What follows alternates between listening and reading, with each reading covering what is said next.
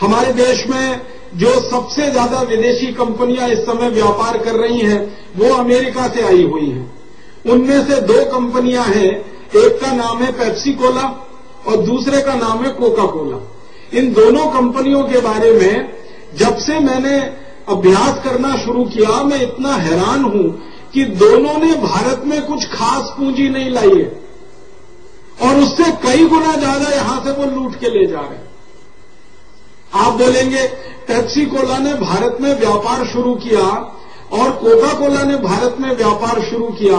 कुल जमा दोनों ने लगभग 10 करोड़ रुपए की पूंजी लगाई है। कुल जमा।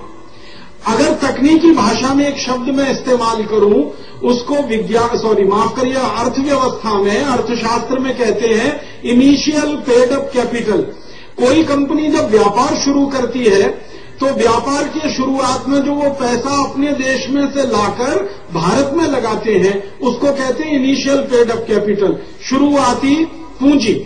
वो लगभग दस करोड़ की है, दोनों की पेप्सी और कोका कोला की।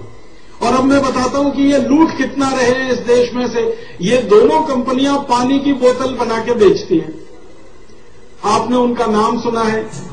Coca Cola Pepsi Cola Thums Up Limca Citra Mirinda आदि आदि, ये जो पानी की बोतलें हैं। अंग्रेज़ी वाले इनको सॉफ्ट ड्रिंक कहते हैं। हाँ किल्ले और एक्वाफिना एक तो पानी है, रंगीन, जिसमें कुछ जहर मिला के बेचते हैं, जिसको वो अंग्रेज़ी में सॉफ्ट ड्रिंक कहते हैं। और एक पानी है सादा सादा, जिसको वो बेचते हैं और उसको किल्ले और एक्वाफिना के नाम से बेचा जाता है। मैं दोनों का विश्लेषण करूँगा। ये जो रंगीन पानी है, जिसको सॉफ्ट ड्रिंक कहा जाता है, जिसमें लाल रंग मिलाया जाता है और आपको दिखाई देता है चॉकलेटी कलर का Pepsi Coca Cola Thums Up Limca Citra वगैरह वगैरह। ये पानी की बोतलें भारत में ये बनाते हैं, इनके यहाँ पर कुछ कारखाने लगे हुए हैं। पेप्सी और कोका कोला के चौसठ कारखाने हैं पूरे भारत देश में। इन कारखानों में ये बनाते हैं पानी की बोतलें सॉफ्ट ड्रिंक की। मैं उन कारखानों में घूमा और कई कारखानों में जा जाके वहाँ के अधिकारियों से बात करके कोशिश की, क्योंकि ये कंपनियाँ अपनी वेबसाइट पे नहीं देती हैं। इन कंपनियों ने भारत के शेयर बाज़ार में भी रजिस्ट्रेशन नहीं कराया हुआ है। हमारा जो बॉम्बे स्टॉक एक्सचेंज है, या दिल्ली का स्टॉक एक्सचेंज है, वहाँ इनकी रजिस्ट्री नहीं है। वहाँ पर इनकी एंट्री नहीं है। अब बॉम्बे स्टॉक एक्सचेंज में या दिल्ली स्टॉक एक्सचेंज में जिन कंपनियों का लिस्टिंग नहीं होता, जिनकी सूची नहीं बनती है, उनके आंकड़े मिलना एकदम असंभव होता है। पेप्सी और कोका कोला दोनों प्राइवेट लिमिटेड कंपनी है। अमेरिका के दो घरानों की कंपनियाँ हैं। अमेरिका में स्वामी जी इनके बारे में कहा जाता है कि अमेरिका का कोई भी राष्ट्रपति बने, या तो वो पेप्सी प्रेसिडेंट होता है या कोका कोला प्रेसिडेंट होता है।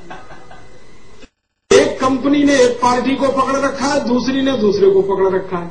और अमेरिका में जब चुनाव होता है ना तो कंपनियाँ खुल के पैसा लगाती हैं चुनाव में, और उसको वो इन्वेस्टमेंट कहते हैं। और राष्ट्रपति जब उनके चुनकर आते हैं तो उनके माध्यम से वो अपना काम कराते हैं।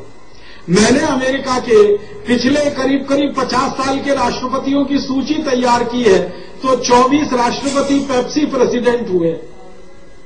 और 12 तेरह तेरह राष्ट्रपति कोका कोला प्रेसिडेंट है।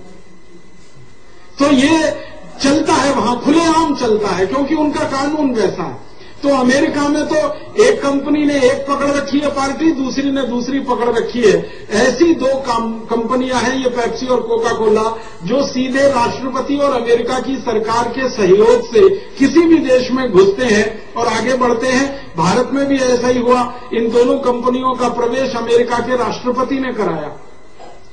हमारे देश में एक प्रधानमंत्री हुआ करते थे, उनके जमाने में इन दोनों कंपनियों को प्रवेश अमेरिका के राष्ट्रपतियों के कहने पर किया गया। और धमकी दी थी अमेरिका ने कि अगर भारत ने अपना दरवाज़ा नहीं खोला पेप्सी और कोका कोला के लिए तो फिर भारत के खिलाफ हम क्या क्या कर सकते हैं? ये भारत को अच्छे से मालूम है। तो सरकार ने डर के मारे दरवाज़ा खोल दिया। ये पेप्सी और कोका कोला की एक पुरानी कहानी बताता हूँ आपको।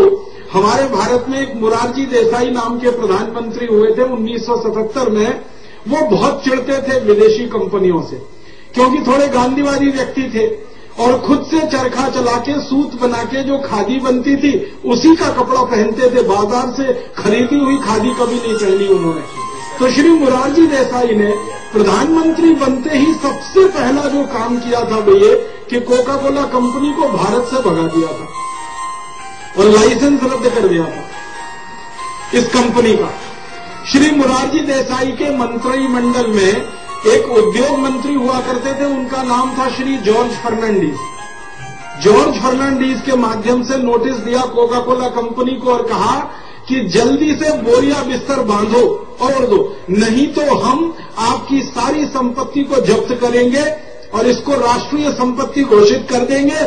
फिर आप कहते रहना हमने आपको बताया नहीं, चेतावनी नहीं दी। तो डर के मारे ये कोका कोला कंपनी भाग गई थी 1977 में। उसके बाद क्या हो गया? फिर चक्र उल्टा हो गया। उन्नीस सौ इक्यानवे के आसपास भारत सरकार ने फिर बुला लिया, अमेरिका के दबाव में आकर वो फिर से घुस गई।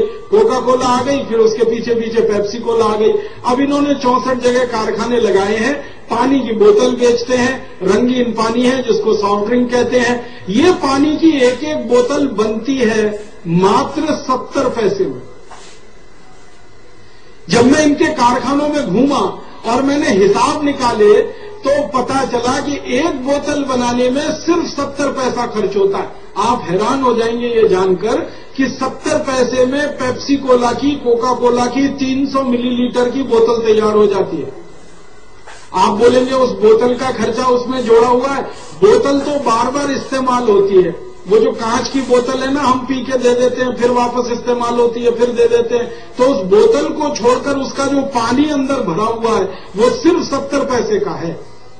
अब सत्तर पैसे में 300 मिलीलीटर वो सॉफ्ट ड्रिंक तैयार करते हैं और उसको बाज़ार में बेचते हैं, कम से कम दस रुपए में, बारह रुपए में, पंद्रह रुपए में, बीस रुपए में, हवाई जहाज़ में बैठ जाओ तो चालीस रुपए में फाइव स्टार होटल में चले जाओ तो साठ रुपए में, माने दस रुपए से शुरू होती है उनकी गिनती और अधिकतम साठ सत्तर रुपए तक वो तीन सौ मिलीलीटर पानी बिकता है। हम अगर सबसे कम कीमत मान के चले कि वो दस रुपए है तो आप जरा सोचना शुरू करो कि सत्तर पैसे का पानी, अगर एक रुपए चालीस पैसे में बिक रहा है तो मुनाफा सौ प्रतिशत हो गया। सत्तर पैसे का पानी दो रुपए दस पैसे में बिक रहा है तो मुनाफा दो सौ प्रतिशत हो गया। सत्तर पैसे का पानी, दो रुपए अस्सी पैसे में बिक रहा है तो मुनाफा तीन सौ प्रतिशत हो गया। और इसी हिसाब से सत्तर पैसे का पानी सात रुपए में बिक रहा है तो मुनाफा एक हज़ार प्रतिशत हो गया। और सत्तर पैसे का पानी अगर दस रुपए में बिक रहा है तो मुनाफा लगभग डेढ़ हज़ार प्रतिशत हो गया। आप बताओ मुझे दुनिया में ऐसा कौन सा व्यापार है जिसमें एक हज़ार पाँच सौ प्रतिशत मुनाफा होता हो? ऐसा है। हम सोने चांदी का भी धंधा करते हैं ना? सुनार होके व्यापार करते हैं उसमें भी मुनाफा दस बीस पचास प्रतिशत के आसपास होता है। लेकिन ये सॉफ्ट ड्रिंक का व्यापार पानी में रंग घोल के और जहर घोल कर बेचने वाला व्यापार इसमें डेढ़ हज़ार प्रतिशत का मुनाफा। और अगर लीटर के हिसाब से इसको कैलकुलेट करें तो सत्तर पैसे का पानी वो दस में बेचें, तीन सौ मिलीलीटर तो एक लीटर पानी उनका हो गया तीस रुपए का, लगभग बत्तीस तैतीस रुपए का। अब तैतीस रुपए लीटर उनका पानी बिक रहा है, जिसमें जहर मिले हुए हैं, और भारत के गाँव में गाय का दूध दस रुपए लीटर बिक रहा है, जो अमृत तुल्य है। तो गाँव का गाय का दूध दस रुपए लीटर है। कोका कोला की बोतल का पानी तैतीस रुपए लीटर हमें मिल रहा है। डेढ़ हज़ार प्रतिशत का मुनाफा कमाकर वो इस व्यापार में उतर गए हैं। अब इसमें आगे बढ़े थोड़ा सा, जब उतर गए हैं। अब इसमें आगे बढ़े थोड़ा सा, जब इन कारखानों में मैं घूमा तो हर जगह मैं ये पूछता था कि एक कारखाने में एक दिन में कितनी बोतल यहाँ से बनकर निकलती है? क्योंकि मैंने बताया ना, इन कंपनियों के आंकड़े किसी भी वेबसाइट पे उपलब्ध नहीं। इन कंपनियों के बारे में जानकारी बॉम्बे स्टॉक एक्सचेंज वालों को नहीं है। दिल्ली स्टॉक एक्सचेंज वालों को नहीं है। तो इस जानकारी को इकट्ठा करने में बड़ी मेहनत लगती है। तो घूमा जब एक एक कारखाने से बोतलों की संख्या पता की तो मालूम हुआ कि एक साल में ये दोनों कंपनियाँ 700 करोड़ बोतल बना के बाज़ार में बेच देती। एक बोतल वो दस रुपए का बेचते हैं। अगर कम से कम हम माने, अधिक से अधिक तो साठ रुपए का है। कम से कम दस रुपए का एक बोतल माने तो 700 करोड़ बोतल बना के वो बाज़ार में बेच देते हैं। मतलब हमारे देश के बाज़ार से एक साल में ये दोनों कंपनियाँ सात हज़ार करोड़ रुपए लूट लेती। और ये सात हज़ार करोड़ रुपए की लूट होती है। एक ऐसे पानी को बेचकर जिसमें जहर ही जहर है, कुछ अमृत तुल्य एक भी चीज़ उसमें नहीं। अब ये जो पानी बिक रहा है पेप्सी और कोका कोला के नाम पर, इसके बारे में भारत के कई विशेषज्ञ वैज्ञानिकों ने शोध की है, रिसर्च किया है और बताया कि इस पानी में मिलाते क्या क्या है। पेप्सी और कोका कोला वालों से पूछो कि आप पानी में क्या मिलाते हो, जिससे ये रंगीन हो जाता है। तो वो नहीं बताते इस बात को। कहते हैं ये फॉर्मूला सीक्रेट है टॉप सीक्रेट है, ये बताया नहीं जा सकता। लेकिन आज की दुनिया में कोई चीज़ सीक्रेट नहीं होती। तो कई वैज्ञानिकों ने जब इनसे पूछा कि बताओ तुम क्या मिलाते हो? नहीं बताया इन्होंने। तो उन वैज्ञानिकों ने मेहनत करके प्रयोगशाला में उसका परीक्षण कर लिया और पता चला कि चौदह किस्म के जहर मिलाते हैं इसमें। उनके नाम बताता हूँ। आप याद कर लेना ताकि सबको बताने में सुविधा हो। सबसे खराब जहर जो इसमें मिलाया जाता है पेप्सी और कोका कोला में, उसका नाम है सोडियम मोनोग्लूटामेट। इस जहर के बारे में सारी दुनिया के वैज्ञानिक कहते हैं कि यह कैंसर करने वाला है। फिर दूसरा जहर मिलाते हैं, उसका नाम है पोटेशियम सॉर्बेट। यह भी कैंसर करने वाला है। फिर तीसरा जहर इसमें है ब्रोमिनेटेड वेजिटेबल ऑयल यह भी कैंसर करता है। फिर इसमें चौथा एक जहर है, उसका नाम है मिथाइल बेंजीन। बहुत ही खतरनाक जहर है। किसी भी व्यक्ति की किडनी को खराब कर सकता है। फिर इसमें पांचवा जहर है, उसका नाम है मैथिल बेंजोएट ये बहुत ही खतरनाक जहर है। किसी को भी कैंसर कर सकता है मूत्र नली का कैंसर कर सकता है, लीवर का कैंसर कर सकता है, सोडियम बेंजोएट फिर इसमें सबसे खतरनाक एक जहर मिला, वैज्ञानिकों ने जब परीक्षण किया, उसका नाम है एंडोसल्फान जो कीड़े मारने के लिए खेत में डाला जाता है। जो जंतुओं को मारने के लिए किसान स्प्रे करते हैं अपनी फ़सल पर। वो एंडोसल्फान इसमें है। और ऐसे कर करके चौदह जहर, और फिर सबसे जहरीली गैस, जिसको आप कार्बन डाइऑक्साइड कहते हैं, जिसको शरीर के अंदर कभी भी नहीं ले जाना चाहिए। भगवान ने ये शरीर ऐसा बनाया कि कार्बन डाइऑक्साइड को हमेशा हम बाहर निकालते हैं ऑक्सीजन प्राणवायु को अंदर लेते हैं। लेकिन पेप्सी और कोका कोला में कार्बन डाइऑक्साइड ही मिली होती है और उसको पीते हैं हम उस पानी के साथ, जो बहुत जहरीली गैस है। और इसमें मिलाते हैं कुछ एसिड उसमें एक एसिड है फॉस्फोरिक एसिड और ऐसे करके ये पेप्सी और कोका कोला तैयार होता है। जब ये तैयार होता है तो सारे देश में उसका विज्ञापन होता है टेलीविज़न चैनल पर। कुछ क्रिकेट खिलाड़ी इसका विज्ञापन करते हैं। कुछ सिनेमा में नाच गाना करने वाले जो एक्टर, एक्ट्रेसेस हैं, वो इसका विज्ञापन करते हैं। और उस विज्ञापन में इस तरह से दिखाया जाता है कि सबसे पवित्र पानी अगर कोई है तो वो यही है पेप्सी कोला कोका कोला कई सिनेमा में काम करने वाले एक्टर, एक्ट्रेसेस व्यक्तिगत ज़िंदगी में पेप्सी कोक नहीं पीते, लेकिन विज्ञापन करते हैं। क्योंकि विज्ञापन करने का पैसा मिलता है। एक विज्ञापन आता है ना, आपने देखा ठंडा मतलब कोका कोला इसको बोलने के लिए आमिर खान को सात करोड़ रुपए मिलता। आमिर खान एक फ़िल्म बनाता है सिनेमा की तो एक साल लगता है, और उस फ़िल्म को बनाने का मेहनताना चार करोड़ मिलता है। लेकिन ठंडा मतलब पेप्सी कोला बोलने का ही सात करोड़ मिल जाता। है तो फ़िल्म से अच्छा धंधा तो ये है विज्ञापन का। बताओ। तो ये जो स्थिति है, सिनेमा में काम करने वाले, क्रिकेट में खेलने वाले लोग इसका विज्ञापन करते हैं पैसे के लालच में। और ये पैसा कंपनी कहाँ से देती है? आपको सत्तर पैसे का पानी जो दस रुपए में बेचा, उसमें से जो मुनाफा कमाया, उसी का एक हिस्सा वो उनको दे देते हैं। उसमें से थोड़ा सरकार को टैक्स के रूप में दे देते हैं और बचा हुआ सारा नेट प्रॉफिट यहाँ से लूट कर अमेरिका ले जाते हैं। अब जो सबसे गंभीर बात मुझे आपसे कहनी है वो ये कि ज़्यादातर लोगों को ये पूछो कि आप पेप्सी को क्यों पीते हो? तो लोग कहते हैं कि जी, ये बहुत अच्छी क्वालिटी है। अब पूछो, ये अच्छी क्वालिटी क्यों है? तो कहते हैं, ये अमेरिका की कंपनी है। तो क्या अमेरिका की सब कंपनियाँ क्वालिटी देती हैं? तो भारत के लोगों के दिमाग में यही घुसा हुआ है कि अमेरिकन प्रोडक्ट माने बेस्ट क्वालिटी। अमेरिकन कंपनी माने बेस्ट क्वालिटी। उनको ये नहीं मालूम है कि अमेरिकन प्रोडक्ट दुनिया में वर्स्ट क्वालिटी भी होते हैं सबसे खराब क्वालिटी के होते हैं। अब पेप्सी कोक की ही जानकारी देता हूँ। अमेरिका की एक संस्था है, उसका नाम है FDA food and drug administration और ऐसी ही भारत में एक संस्था है।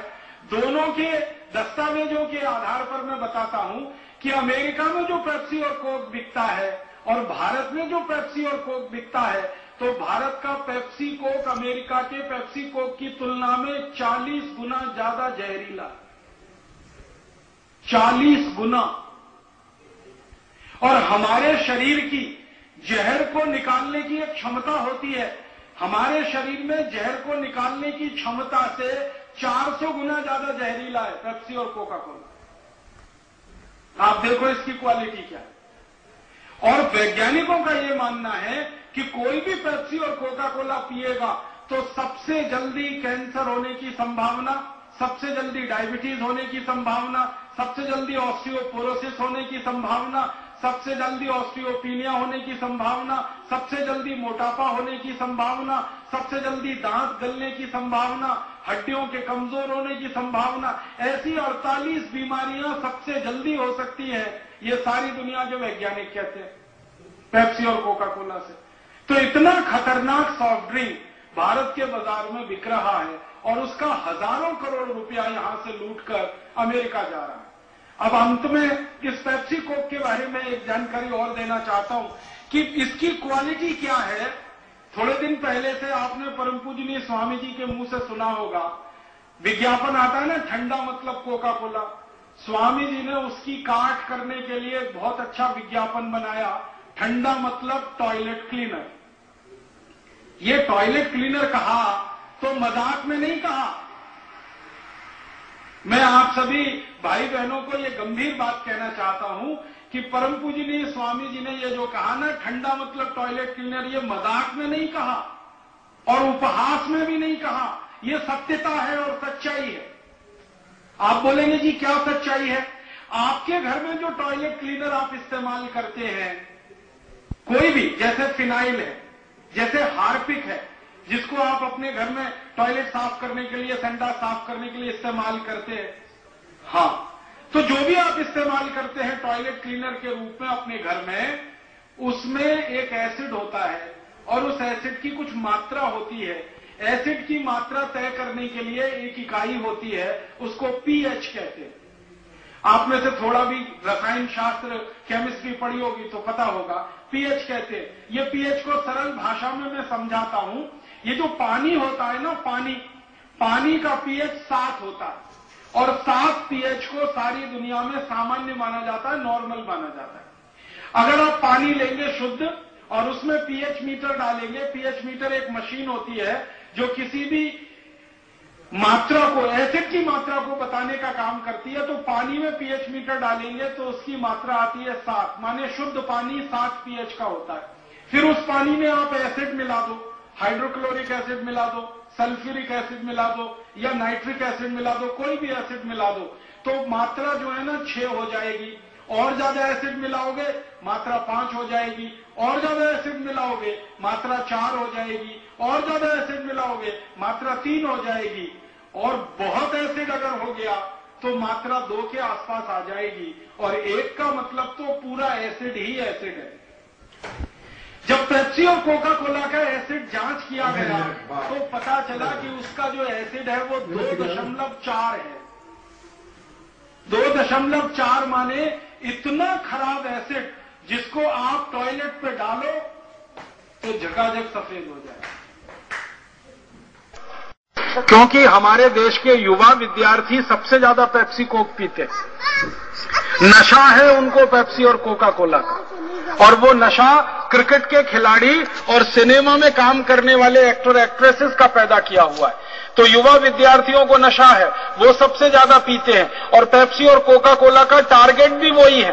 हमारे देश के युवाओं द्वारा सबसे ज़्यादा पेप्सी कोक पिया जाए, यही पेप्सी और कोका कोला वाले चाहते हैं। दो कारण से। एक तो उनका माल खपत होगा, बिक्री होगी, मुनाफा मिलेगा। और दूसरा, ये जहर पी पी कर नौजवान अपनी नौजवानी खत्म कर लेंगे। सोडियम मोनोग्लूटामेट आपके शरीर में जाए, पोटेशियम सॉर्बेट जाए, ब्रोमिनेटेड वेजिटेबल ऑयल जाए, मिथाइल बेंजीन जाए मैथिल बेंजोएट जाए, एंडोसल्फान उतर जाए आपके खून में, ऐसे खतरनाक जहर उतर जाए, फॉस्फोरिक एसिड उतर जाए आपके खून में तो जवानी तो चली जाएगी आपकी। नपुंसकता ही आने वाली है। और जिनकी जवानी चली गई और नपुंसकता आ गई वो ना अपने काम के हैं, ना परिवार के काम के हैं, ना देश के काम के हैं। मुझे कई बार ऐसा लगता है कि भारत को भविष्य में गुलाम बनाने का कोई बड़ा षड्यंत्र और बड़ी साजिश इस और कोका कोला के माध्यम से तो नहीं हो रही है। इस दृष्टि से आपको स्कूलों में जाकर, कॉलेजों में जाकर विद्यार्थियों को सबसे ज़्यादा इस विषय पर समझाना है और बताना है। आप बोलेंगे, ये विद्यार्थी मानेंगे नहीं, समझेंगे नहीं। एक छोटा सा मैं आपको ट्रिक बताता हूँ। एक मिनट में उनको समझ में आ जाता है, व्याख्यान देने की ज़रूरत ही नहीं है। बच्चों के स्कूल में जाइए विद्यार्थियों के स्कूल में जाइए और उनके स्कूल का जो टॉयलेट है, वो पेप्सी कोला से उनके सामने साफ़ करके दिखा दीजिए। एक मिनट में ही मान जाते हैं और एक मिनट में कन्विंस हो जाते और आप जानते हैं कि सभी स्कूल कॉलेज में टॉयलेट तो होते ही हैं। सभी स्कूल कॉलेज में बाथरूम भी होते हैं और कितने गंदे होते हैं, उसका अंदाज़ा तो आप सभी को है। क्योंकि स्कूल कॉलेज के टॉयलेट और बाथरूम की सफ़ाई अच्छे से नहीं हो पाती उनको जब आप पेप्सी कोक से साफ़ करके दिखा देंगे विद्यार्थियों के सामने सारे विद्यार्थी कान पकड़ लेंगे कि अब तो इसको छुएँगे नहीं अब तो इसको पिएँगे नहीं। और विद्यार्थी अगर कन्विंस हो गए नहीं पीने के लिए तो उनके माता पिता नहीं पिएँगे क्योंकि बच्चा जो है ना बाप का बाप होता है। हाँ। एक अंग्रेज़ी की कहावत है child is the father of the man माने बाप का बाप है, बच्चा। अगर उसने मान लिया कि नहीं पीना तो मम्मी पप्पा को तो वो बिल्कुल कह ही देगा कन्विंस कर लेगा कि नहीं पीना। और माता पिता छोड़े, बच्चे छोड़े, परिवार छोड़े, पड़ोस छोड़े, और सारा देश इसको छोड़े। इस अभियान को हम लोग करके सफलता की एक ऊंचाई तक ले जाए। सारी दुनिया देखेगी कि भारतवासियों ने जैसे भगाया ईस्ट इंडिया कंपनी को, वैसे ही भगा दिया पेप्सी और कोका कोला कंपनियों को। तो दूसरा कोई आँख उठाकर इधर नहीं देखेगा। और दोबारा से ये देश किसी गुलामी के दुष्चक्र में नहीं फंसेगा। और ये जो पेप्सी और कोका कोला का बहिष्कार है, आप जान लीजिए, मैंने इसके बारे में बहुत अभ्यास किया है। इन दो कंपनियों का अगर हमने सफाया कर दिया भारत से, एक भी अमेरिकन कंपनी यहाँ नहीं रुकेगी, सब पीछे पीछे जाना शुरू कर